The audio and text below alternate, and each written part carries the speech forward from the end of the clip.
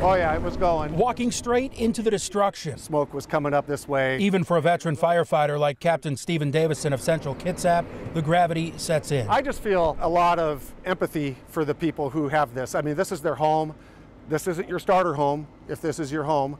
So, this is a lifetime of working to have a lifetime of retirement. Hours earlier, witnesses watched in awe. First house is completely gone. Two homes and a garage on three properties. Second house is burning now. All destroyed along Dyes Inlet between Bremerton and Silverdale.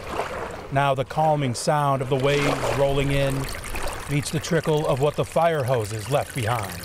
No official cause of the fire just yet. The captain told me at one point there was a gas leak fueling the flames. As of now, all of those threats are over as the investigation continues. Crews took us inside what's left of the home where the fire started. Just charred rubble now, little plumes of smoke still there. The initial cleanup now complete.